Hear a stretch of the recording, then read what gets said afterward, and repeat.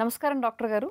నమస్కారం అండి. డాక్టర్ గారు అయ్యా. మన లైఫ్ స్టైల్ అనే అంశంలో భాగంగా ప్రేక్షకులందరిలోనూ ఒక తెగకి చెందిన వాళ్ళందరినీ తీసుకుని వాళ్ళ లైఫ్ స్టైల్ ఎలా ఉంటే బాగుంటుంది అని సమగ్రమైన ఒక విశ్లేషణ అందిస్తున్నాం. అవునమ్మా. మరి సినిమా రంగంకి సంబంధించి లేదంటే టీవీ అంటే ఇండస్ట్రీలో పనిచేసే వాళ్ళు కొన్ని లక్షల మంది కోట్ల మంది ఉన్నారు. అవునమ్మా. వీళ్ళ లైఫ్ స్టైల్ అనేది చాలా ఇర్రాటిక్. అంటే చెప్పాలంటే ఒక సమయం అనేది ఉండదు. ఆహారం టైం తీసుకోలేరు భోజనం సరిగ్గా తినలేరు. ఇలా రకరకాల స్ట్రెస్లు అనేది ఒడిదుడుకులు చాలా ఎక్కువగానే ఉంటూ ఉంటాయి. మరి అందుకే వీళ్ళందరికీ కొన్ని కామన్గా ఉంటాయి కాబట్టి ఆ సమస్యలను ఒక్కొక్కటిగా నాకు తెలిసింది నేను అడుగుతాను. వాళ్ళు వాళ్ళ లైఫ్ స్టైల్ని ఎలా మార్చుకుంటే ఆరోగ్యవంతంగా ఉండొచ్చో మీరు చెప్తారు కదా? తప్పనిసరిగా. ముందుగా డాక్టర్ గారు ఈ రంగంలో పనిచేసే వాళ్ళందరికీ కూడా టైం అనేది ఉండదు. మరి వీళ్ళందరూ కూడా టైం టు టైం ఆహారం తీసుకోవాలంటే కనుక చాలా కష్టతరమైన పని. మరి వీళ్ళందరికీ మీరు అందించే పరిష్కారం ఏంటో చెప్తారా? సినిమాలు టీవీ షూటింగ్స్లో మొదలు పెట్టిన తర్వాత. అది మన చేతిలో ఉండదు. ఒక్కొక్కసారి వాతావరణాల్లో మార్పులు వచ్చేస్తుంటాయి. ఒక అరగంట గంట బ్రేక్ వస్తుంది. మళ్ళీ అయ్యేదాకా మళ్ళీ అవన్నీ కదపడానికి లేదు కాబట్టి అట్లాగే ఉండాల్సి వస్తుంది. అందుకని సమయానికి టిఫిన్ లంచ్ అనో అట్లాంటివి ఉండవు. ఇట్లా కుదరట్లేదు కాబట్టి వాళ్ళు ఒక్కొక్కసారి లేట్గా టిఫిన్స్ ఒక్కొక్కసారి ఈవినింగ్ లంచ్ తింటారు. ఒకసారి మిడ్ నైట్ ఎప్పుడో డిన్నర్ తినాల్సి వస్తుంది ఇవన్నీ జరుగుతుంటాయి. ఇట్లా గ్యాప్ ఎక్కువ వచ్చేసరికి ఆ గ్యాప్లో టీలు అక్కడ ఫ్రీగా ఇచ్చేస్తుంటారు. అవి ఎక్కువ తాగేస్తూ ఉంటారు మీరు ఆహారం తినటం లేట్ అయినప్పటికి కూడా నష్టం రాకుండా ఉండాలంటే ఆ టైంలో టీలు కాఫీలు తాగకుండా ఉండడం మంచిది. సరే తప్పనిసరి వ్యసనం నేను వదులుకోనంటే ఇది ఒకసారి తాగటం తప్పు కాదు కానీ గ్యాప్ వచ్చినప్పుడల్లా గంటకి రెండు గంటలకు ఒకసారి కప్పు అట్లా త్రాగటం అనేది కరెక్ట్ కరెక్ట్ కాదు. ఆ టైంలో వాటర్ తాగితే ఇర్రెగ్యులర్ యాసిడ్ సిక్రేషన్స్ రాకుండా పొట్టలో మంటలో అల్సర్స్ రాకుండా మ్మ్. ఆకలి ఇబ్బంది లేకుండా కూడా పొట్టకు హాయిగా ఉంటుంది. మ్మ్. అందుకని ఇది చేయటం మంచిది. ఈ గ్యాప్ వచ్చినప్పుడు ఇంకో గంట భోజనం లేట్ అవుతున్నది అని ఇంకేదో కొద్దిగా స్నాక్స్ తీసుకోవడం మంచిది కాదు. మ్మ్. ఆకలి చచ్చిపోతుంది. ఎందుకంటే పూర్తిగా ఇది తినలేము. మళ్ళీ గంట రెండు గంటలు గడిచాక భోజనము సరిగా చేయలేము.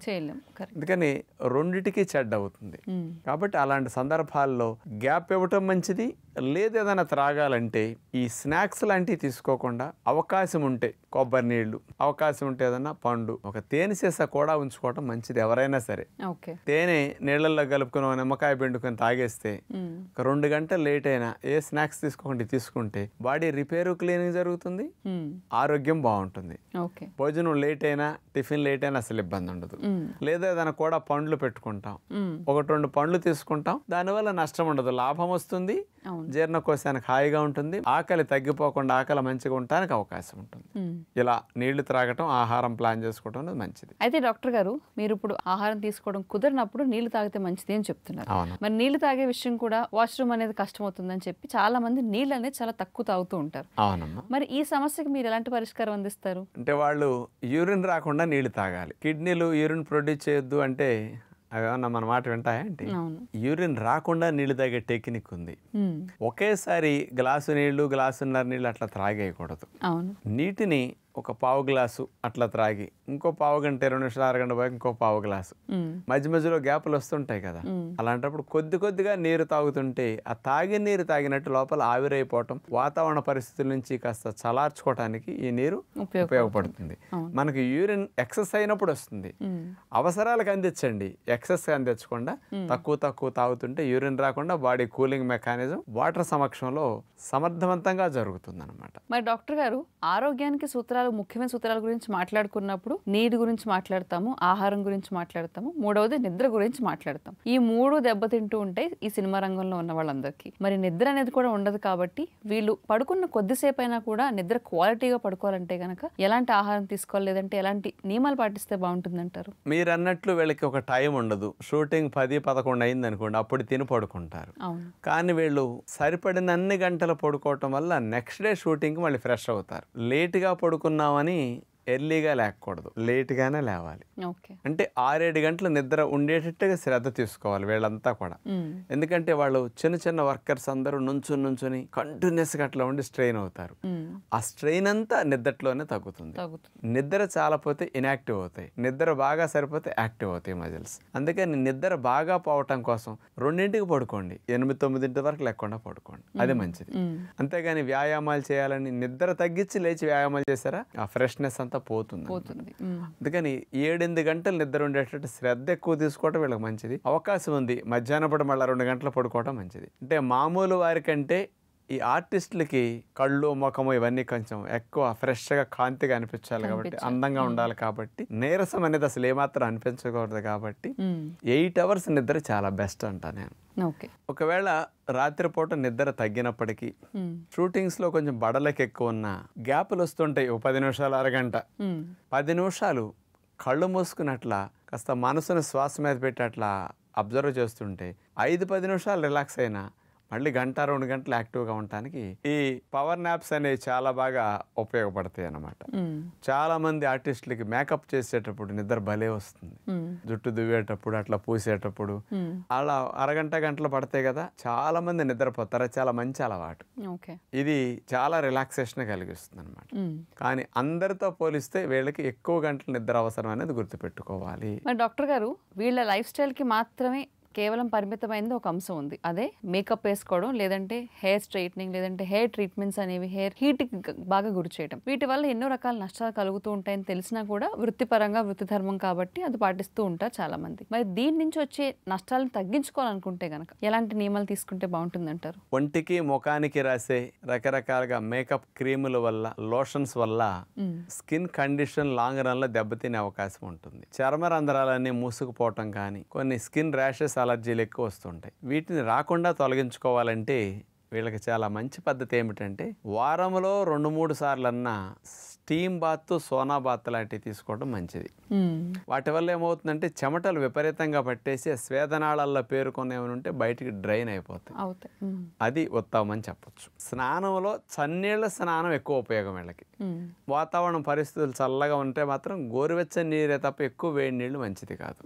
ఎందుకంటే స్కిన్ టోన్ చన్నీళ్ళకి ఎక్కువ ఉంటుంది స్కిన్ సెల్స్ కూడా బ్లడ్ సప్లై బాగా పెరుగుతుంది. అంటే టాక్సిన్స్ని తొలగించాలన్నా సెల్స్ని రిపేర్ చేసుకోవాలన్నా సర్క్యులేషన్ ఎక్కువ వెళ్ళాలి.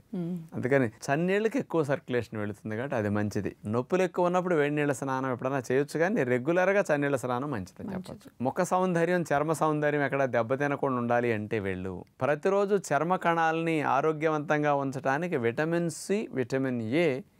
Vitamin E ఈ మూడు ఎక్కువ కావాలి. ఓకే. డాక్టర్ గారు అయ్యా. మరి ఈ ఇండస్ట్రీలో పనిచేసే వాళ్ళ లైఫ్ స్టైల్ బాగుండాలంటే గనక ఎలాంటివి తీసుకుంటే బాగుంటుందో చెప్తారా? అంటే వీళ్ళకి లాంగ్ స్టాండింగ్ ఎనర్జీని ఇచ్చేవి కావాలి. ఆహారాలన్నింటిలో కల్లా అట్లా ఎక్కువ శక్తినిచ్చే ఆహారాలు నెంబర్ వన్ ఆహారాలు డ్రై నట్స్ అండి. మ్మ్. మామూలుగా ఫిలిం స్టార్స్ అందరూ డ్రై నట్స్ ఎక్కువ తింటారని అందరికీ తెలుసు. కానీ తక్కువ ఖర్చులో దొరికే కూడా ఉంటాయి. ఆ ఇండస్ట్రీలో చిన్న చిన్న పనులు చేసేవారు కూడా ఇట్లాంటివి తింటే మంచిది. డబ్బులు ఉన్న వాళ్ళకి ఇంకో రకంగా చెప్దాం చియా సీడ్స్ వేరుశెనగ పప్పులు నానపెట్టినవి గుమ్మడి గింజలు పొద్దుతీరుడు పప్పు పుచ్చగింజల పప్పు.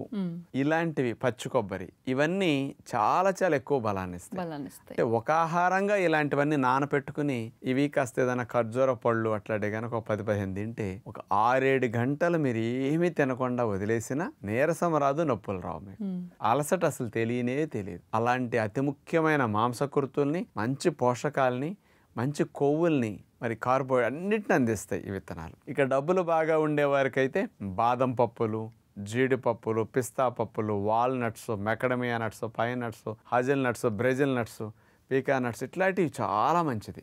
మరి మాంసం కంటే సిక్స్ టైమ్స్ బలం ఎక్కువ. కానీ ఇన్ని తిన్నా కానీ ఆరేడు గంటలు నాన్ స్టాప్గా పనిచేసుకోవచ్చు. అదే మీరు ఏదో ఇంత అన్నమో ఇంత నాన్ వెజ్ ఇంత బిర్యానీ తిన్నారనుకోండి మత్తు వచ్చేస్తుంది ఆ వర్క్ మీద కాన్సన్ట్రేషన్ థర్టీ ఫార్టీ పర్సెంట్ తగ్గిపోతుంది. అదే నేను చెప్పినది తింటే మత్తు రాదు ఎఫిషియన్సీ పెరుగుతుంది. ఎవరైనా షూటింగ్లో ఇలాంటి పప్పులు నానబెట్టి పెడితే ఈసారి వాళ్ళ పని నాలుగు గంటలు అవ్వాల్సింది రెండు గంటలు అవుతుందండి. ఎందుకంటే అందరూ చాలా యాక్టివ్గా ఉంటారు ఇట్లాంటివి తిన్నప్పుడు. అందుకని ఇలాంటివి మనం తినటం వల్ల ఎక్కువ శక్తి వస్తుంది. ఎంత గ్యాప్ వచ్చినా అసలు పొట్టా ప్రేగులకి తేడాలు రానే రావు. అసలు కండరాల నొప్పులు నీరసము పిక్కల నొప్పులు అసలు తెలియనే తెలియకుండా మీరు చాలా చురుగ్గా ఉంటారు. విన్నారు కదండి? మరి సినిమా ఇండస్ట్రీ లేదంటే టీవీ ఇండస్ట్రీలో పనిచేసే వాళ్ళందరికీ కూడా సమయానుభావం వల్ల వాళ్ళ ఆరోగ్యం గురించి శ్రద్ధ తీసుకునే అవకాశం అనేది చాలా తక్కువగా ఉంటుంది. మరి అందుకే వాళ్ళ లైఫ్ స్టైల్ ఎలా ఉండాలో డాక్టర్ గారు చెప్పారు కాబట్టి వీలైనంత వరకు కుదిరినప్పటి వరకు కూడా డాక్టర్ గారు చెప్పిన నియమాలను కొన్ని పాటించి ఆయన చెప్పిన చిట్కాలు కొన్ని పాటిస్తే గనక ఆరోగ్యాన్ని కాపాడుకునే అవకాశాలు ఎక్కువగా ఉంటాయి.